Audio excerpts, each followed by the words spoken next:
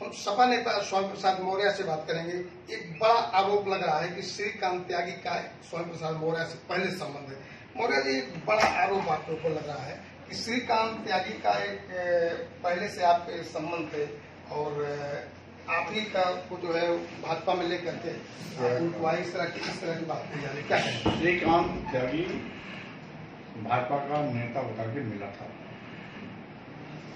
और उसके हाव भाव से मैं समझ गया था कि चलते पुरजे का आदमी है और छह महीने के बाद फिर मेरे यहाँ आना जाना उसको बंद हो गया भाजपा में बड़े बड़े एक मिनट एक मिनट और साथ ही साथ सेंट्रल में भाजपा के लोगों ने गिरफ्तारी बनाई सभी बड़े नेताओं से उसके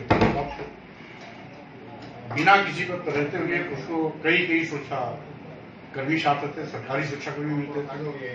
चार चार पाँच पाँच घंटे लेके चलता था। चार चार पाँच पाँच घंटे लेके अगर चलता था तो स्वाभाविक रूप से भाजपा के किसी बड़े नेता का उसके आशीर्वाद था, उस पर हाथ था। और यही कारण है कि बिना किसी पद पर रहते हुए वो तमाम सुरक्षा कर्मियों के घेरे में चला करता था। आज वो अपराधी साबित हुआ है तो सरकार को ऐसे को गिरफ़्तार करने में देरी क्यों? वो अपराधी है, किसका आदमी, किसका नहीं, ये बात बाद में आती है, पहले नंबर पर अपराधी है। तो अपराधी गिरफ्तारी होनी चाहिए। सरकार चार चार दिन से वो फरार है और गिरफ़्तार नहीं कर पा रही है। और दो साल ऊपर दूसरों मोड़ रही है। अपना पाप का चादर दूसरों पर डालने की कोशिश कर रही है। सरकार की घिनौनी साजिश है और भाजपा इसमें बहुत माहिर है। इस प्रकार का खेल खेलने में उसका कोई सानी नहीं। स्वतंत्र देव सिंह का साफ़ कहना है कि आपसे पहले से उसके संबंध है और आप उसको भाजपा में लेकर के इस पे क्या कहना मैं केवल यही कह रहा हूँ कि चुनाव के दरमियान वो भाजपा का नेता होकर के मिला था। और बाद में पाँच छह महीने तक वो कभी कभी आता था। पाँच छह महीने के बाद वो कभी दिखाई भी नहीं पड़ा। और भाजपा के बड़े बड़े नेताओं के साथ उस फ़ोटो खिंचवाता था।